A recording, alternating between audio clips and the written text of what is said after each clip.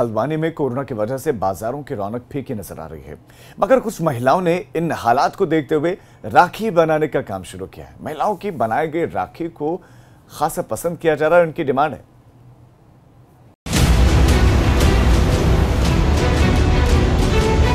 Corona की वजह से इस बार राखी के पर्व की रौनक फीकी है। बाज़ार में खरीदार नहीं है, लिहाजा दुकानें खाली इस बीच कुछ महिलाएँ घर में राखी बना रही हैं। ये महिलाएँ पीएम मोदी से प्रेरित हैं और कोरोना काल में आत्मनिर्भर भारत से प्रेरणा लेकर राखी बना रही हैं। बार राखी बनाने का आइडिया हमें हमारे माननीय प्रधानमंत्री जी के द्वारा जो संदेश दिया गया था पूरे भारतवर्ष को कि लोकल को वोकल बनाना है। तो उसी को हमने ध्यान में रखते हुए इस बार हम लोगों ने घर में राखियाँ बनाना स्टार्ट करी। ये राखी हम लोग अपने उत्तराखंड की संस्कृति से मिलती जुलती बना रहे हैं। इसमें हमारी उत्तराखंड की जो ऐपण कला है, उस, वो पूरी झलक झलकती है और उसका बहुत अच्छा रिस्पॉन्स मिल रहा है। इन राखियों को ऐसा डिज़ाइन दिया गया है कि इसमें पहाड़ की संस्कृति की भी झलक दिख रही है। महिलाओं का ये समूह दिन भर में करीब 500 राखियाँ बना लेता है। इनकी राखियों की शहर में काफ़ी डिमांड है।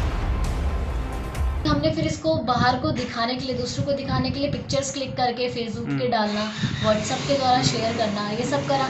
फ्रेंड सर्कल में भी शेयर करा रिलेटिव्स को भी शेयर करा इवन अड़ोस पड़ोस में नेबर में भी शेयर करा। तो अच्छा रिस्पॉन्स आया डिमांड्स भी आई कि आप इस बार हमारे लिए भी यहीं से करिए चाइना का बहिष्कार करते हैं अच्छी तरीके से। तो उन लोगों ने बोला कि आप हमारे लिए भी बना देना ऑर्डर आने लगे कि आप इतनी राखी उतनी राखी बनाना। तो बस अब काम चल रहा है। लद्दाख की घटना और कोरोना की वजह से चीन में बने सामानों का विरोध हुआ है। उसके बाद इनकी राखियों की काफ़ी डिमांड बढ़ गई है। इससे महिलाओं को रोज़गार मिल रहा है और लोग देश में बना सामान खरीदना पसंद कर रहे हैं। हल्द्वानी से अंकित शाह की रिपोर्ट एबीपी गंगा। हल्द्वानी में कोरोना की वजह से बाजारों की रौनक फीकी नज़र आ रही है। मगर कुछ महिलाओं ने इन हालात को देखते हुए राखी बनाने का काम शुरू किया है। महिलाओं की बनाए गए राखी को खासा पसंद किया जा रहा है, उनकी डिमांड है।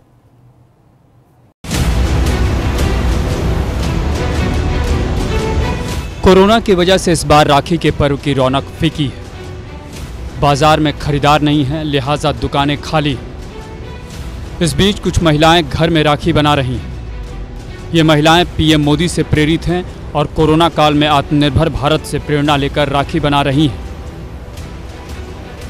राखी बनाने का आइडिया हमें हमारे माननीय प्रधानमंत्री जी के द्वारा जो संदेश दिया गया था पूरे भारतवर्ष को कि लोकल को वोकल बनाना है।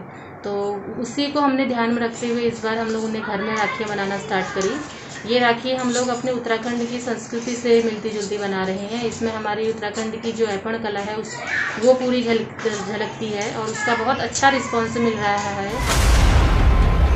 इन राखियों को ऐसा डिज़ाइन दिया गया है कि इसमें पहाड़ की संस्कृति की भी झलक दिख रही है। महिलाओं का ये समूह दिन भर में करीब 500 राखियाँ बना लेता है। इनकी राखियों की शहर में काफ़ी डिमांड है। हमने फिर इसको बाहर को दिखाने के लिए दूसरों को दिखाने के लिए पिक्चर्स क्लिक करके फेसबुक पे डालना व्हाट्सएप के द्वारा शेयर करना ये सब करा। फ्रेंड सर्कल में भी शेयर करा रिलेटिव्स को भी शेयर करा इवन अड़ोस पड़ोस में नेबर में भी शेयर करा। तो अच्छा रिस्पांस आया डिमांड्स भी आई कि आप इस बार हमारे लिए भी यहीं से करिए चाइना का बहिष्कार करते हैं अच्छी तरीके से। तो उन लोगों ने बोला कि आप हमारे लिए भी बना देना ऑर्डर आने लगे कि आप इतनी राखी उतनी राखी बनाना। तो बस अब काम चल रहा है।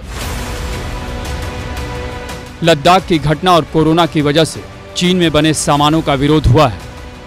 उसके बाद इनकी राखियों की काफ़ी डिमांड बढ़ गई है। इससे महिलाओं को रोज़गार मिल रहा है और लोग देश में बना सामान खरीदना पसंद कर रहे हैं। हल्द्वानी से अंकित शाह की रिपोर्ट एबीपी गंगा।